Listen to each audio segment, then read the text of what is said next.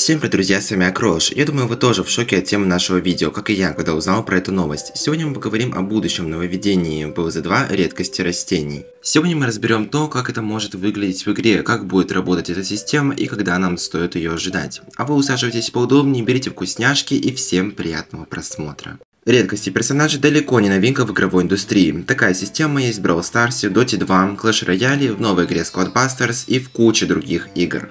Как вы понимаете, редкость это определенная категория, по которой распределяются персонажи, оружие и тому подобное. Например, в том же Brawl Stars есть 5 редкостей, по которым распределяются бойцы, и чем интереснее уникальная механика, тем выше редкость героя. В PvZ 2 будет действовать примерно такая же система, чем интереснее и имбовее механика персонажа, тем выше его редкость.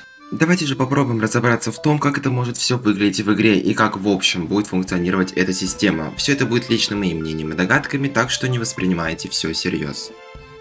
Итак, рассмотрим систему разблокировки персонажей в растении против зомби-героя. Здесь мы можем получать их за энергию в событиях и при открытии паков. Ну и понятное дело, что чем выше редкость растения, тем больше энергии нужно для его разблокировки. Соответственно, и процент появления в паках у него меньше. Возьмем пример и другую игру, например Brawl Stars. Чем выше редкость героя, тем больше кредитов, позволяющих открывать бойцов, вам нужно потратить.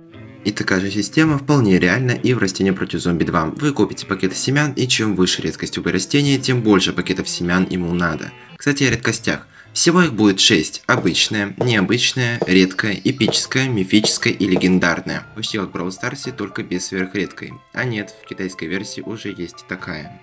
В моей статье вы можете найти абсолютно все редкости на всех растений, даже на тех, которых в игре пока нет и которые удалены. Ссылка будет в описании к этому видео, также можете зайти и в телеграм-канал по QR-коду, либо опять же по ссылке в описании. Давайте вернемся к системе. Как же вообще получать кредиты? Я и разберу именно эту систему, потому что она больше всего приближена к тому, что у нас есть растение против зомби 2. Это можно сделать с помощью прохождения квестов, доната и платного пропуска с наградами. Надеюсь, что Electronic Arts не посмотрит это видео.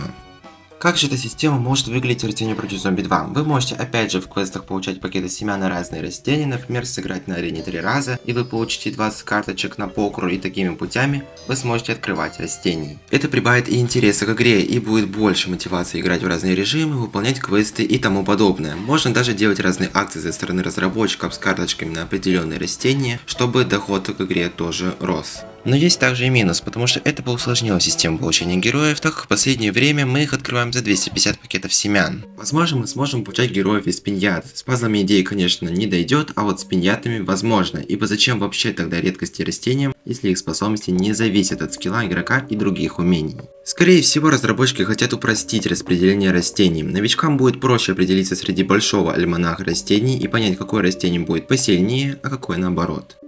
Надеюсь, что редкости растений сделают игру более разнообразнее, так это звучит вообще многообещающе, особенно для этой вселенной. Когда нам стоит ожидать эту систему? Судя по тому, что уже есть редкости для взрывного предельщика и гриба судьбы, это может выйти уже в следующем обновлении. Как это все будет выглядеть, работать и вообще будет ли это полезно в игре, пока неизвестно, но вы можете написать свои догадки в комментариях под этим видео.